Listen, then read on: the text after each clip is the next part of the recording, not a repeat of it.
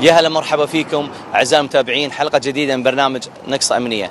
نقصتنا اليوميه هي دور وزاره الداخليه في تامين دور العباده وتسهيل دور حركه المصلين اثناء تاديه فريضه الصلاه، وكذلك حمايه دور العباده من الداخل والخارج، وتعزيز العنصر البشري وتكثيف الدوريات والحرص على سلامه المصلين.